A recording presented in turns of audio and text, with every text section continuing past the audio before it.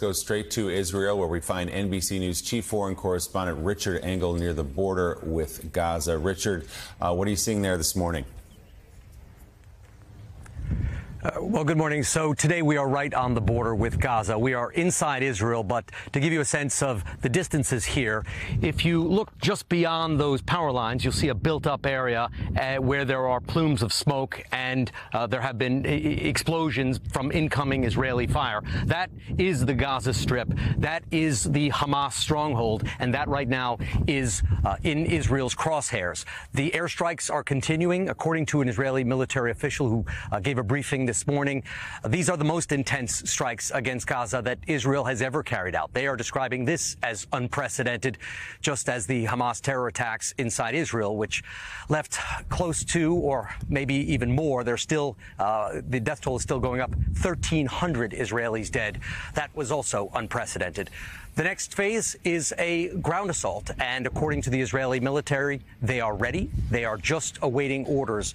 And throughout this area, we've been seeing a buildup of troops. There have been uh, tanks and APCs, armored personnel carriers, and artillery brought in, jeeps uh, full of troops, reservists. Uh, Israel's called up around uh, 360,000 reservists, and they are now being mobilized. So we are preparing, bracing for this next phase of the war. And uh, Secretary of State Blinken ha has arrived in Israel. He's on a diplomatic mission to try and contain this war to Israel and and uh, and Gaza. The, the the concern is that it would spread to Lebanon. Israel has also reinforced the northern border uh, along the Lebanese border. But I can tell you, having watched this and other conflicts before, once these bombs start flying and there are casualties, it is very difficult to contain a war. Richard, we know that there are uh, at least 100, maybe up to 150 hostages being held inside of Gaza. We also know that, ha that Hamas has an elaborate network of tunnels and places to hide uh, those hostages. There's been talk of Israeli commandos going in on rescue missions. Even the White House wouldn't rule out yesterday that Navy SEALs or Green Berets could go in to rescue American hostages. Can you speak to the difficulty of those potential missions?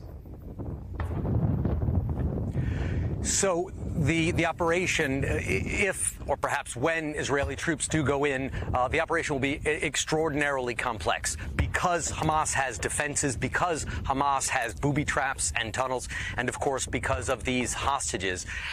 And the, uh, the, the operation will also involve hostage rescues. So generally, and, and, this is not the first time that Israeli troops have gone into the Gaza Strip. They used to occupy the, the, the Gaza Strip in the past. When they have gone in, they they enter Gaza from multiple directions. They enter from the north, from the sides. They cut off the main roads.